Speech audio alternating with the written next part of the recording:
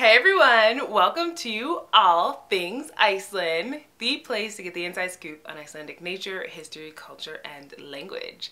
My name is Jewells, and today is dedicated to indulgence, and in particular, indulgent winter celebrations in Iceland that you've probably never heard of. So I'm not talking about Christmas and I'm not talking about New Year's Day, which definitely are a time of indulgence here, but this comes afterwards during a time period when there doesn't seem to be a lot going on, particularly in like a lot of Western cultures besides maybe like Valentine's Day. But Icelanders have kind of mixed it up to be really fascinating during this time. And in particular, I'll just start with the first of the many different celebrations, which happens in the month of Þorri. And so Þorri is a month on the old Icelandic calendar. And there's a little bit of a debate as to whether the month Þorri is named after the thunder god Thor or a Norwegian king's named Þorri. Regardless of that, there is a month in the old Icelandic calendar named Þorri. And the kickoff day for Þorri is Bóndadagur, which in direct translation is Farmer's Day, but over time, bóndi, which means farmer, has also become a bit synonymous with husband. So Husband's Day is the kickoff for Þorri, and it's always on a Friday between the 19th and 26th of January. So what's interesting about this day, and what and the head of the household, which of course back in the day was always a man, had to wake up earlier than anyone else on Bóndadagur and only have on a t-shirt, partly sewing like one leg in their pants, so they're like kind of just like dragging along, bare and barefoot, and go outside and walk a ring around the house while also having their underwear on the leg that doesn't have the pants dragging to in order to welcome Þorri into their house. And on Bóndadagur, the lady of the house is supposed to treat her husband. So basically, probably like giving them a really nice meal, doing things that they really like, or whatever, you know, just treat them like a king. In essence, the husbands get spoiled on that day. And that's just the kickoff of Þorri and this indulgence because during the month of Þorri, there are these winter feasts called Þorrablót. And in essence, people, modern day people, get together and eat the foods that their ancestors used to eat. And back in, you know, centuries past, eating these traditional foods was out of necessity. It was more like they had pickled, they had salted, they, you know, preserved food, fermented in all these different ways, and they needed this food to get through winter.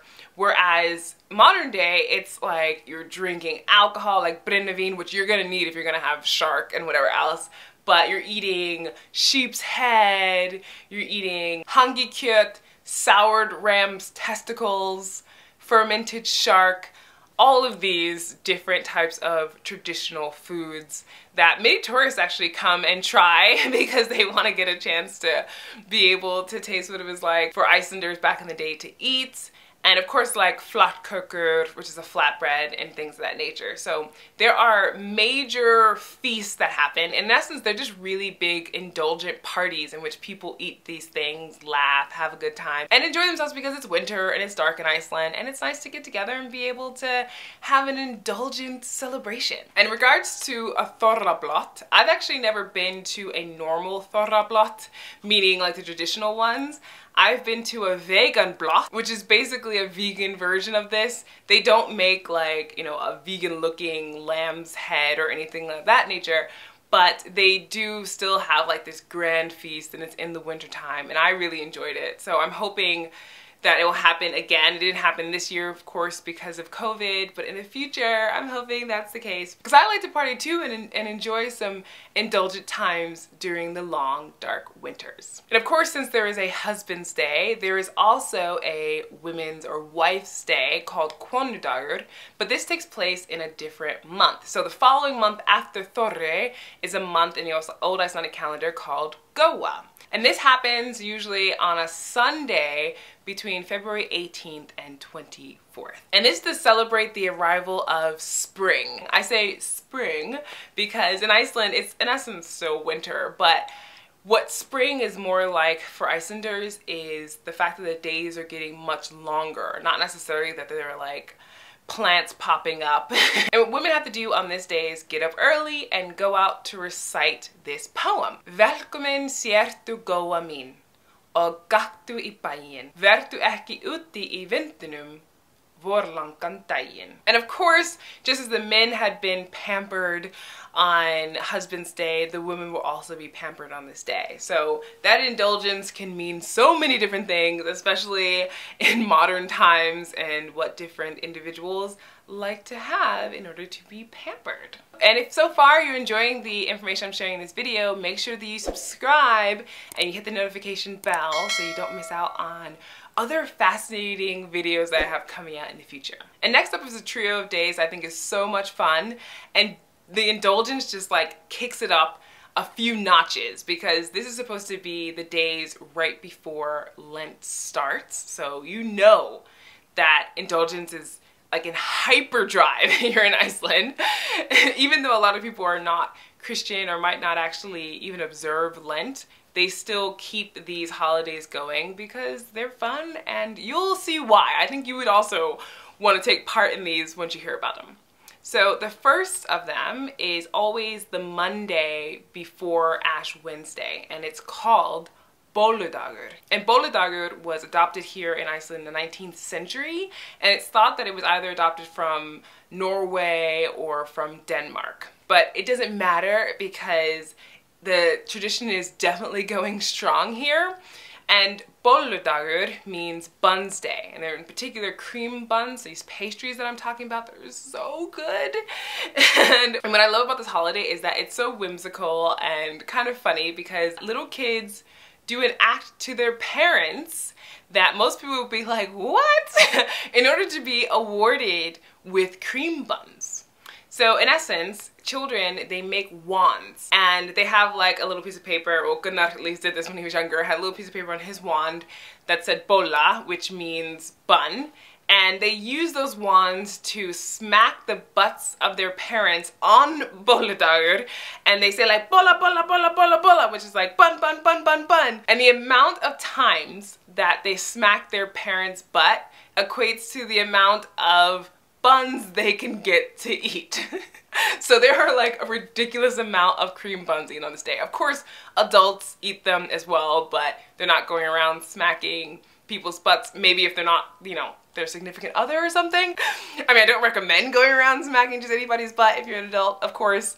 But on this day, kids for sure are able to do that. And oh man, the amount of variety of these cream buns is intense. I did a taste test of five different vegan cream buns of, of bollur and I put it on my Instagram if you want to go check it out. Uh, it will be in the highlights on my, my profile. I did, and I, I of course chose a winner of the ones that I think taste the best and you can find that out but there are like a ridiculous amount of buns that are vegan and not vegan so lots to choose from and they're only sold during this time of the year because it's for this particular celebration. So if you ever want to try it in Iceland I recommend coming before Lent because these days that I'm talking about are just so much fun. They're a little intense because of the amount of eating like I ate five buns in a row and definitely felt a little sick, but I, but it was worth it. I mean, it was totally, in my opinion. Just putting that out there. Just be cautious about how many buns you eat because it'll it'll get to you later.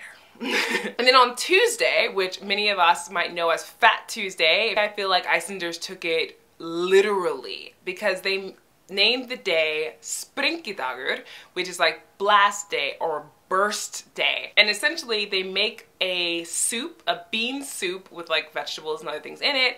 And also they have salted meat that they eat on this day until they feel like they're going to burst.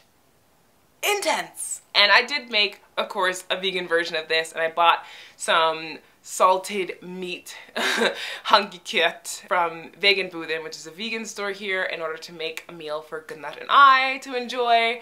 But of course there are traditionally, it's not a vegan meal at all, but that's okay. Everyone does their own version of it. And we definitely ate until we felt like we were going to burst. But again, worth it. And for the last of these three days, I have to do a little bit of a wardrobe change. So I'll do that now. So the last of these three days is called Öskudagur, which is Ash Wednesday.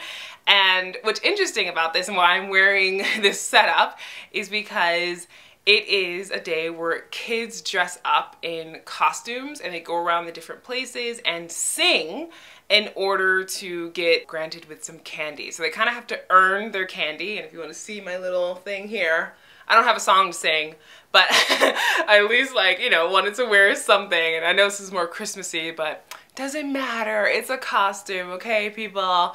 And just having some fun. Of course, there are also people who go and get like their ashes on their forehead and stuff like that. But there's other fun things that happen in Iceland on Ash Wednesday than just going to church and getting ashes on your forehead. As you can tell, lots of fun happening uh, during winter here in terms of indulgent celebrations. I think it's so much fun. I really enjoy it because it makes the long dark nights not so long and it's always just something to look forward to. And so that pretty much is what leads up to Lent.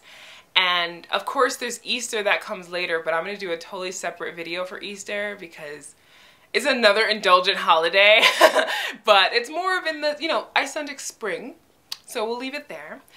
But if you've enjoyed learning about these indulgent winter celebrations in Iceland, make sure to give this video a thumbs up and to share it with anyone that you think would find it interesting. And I'm pretty active on Instagram. I do like a weekly Icelandic news roundup and different topics throughout the week. So feel free to follow me over there in order to keep up on all things Iceland. As always, thanks for watching and I will see you in the next one.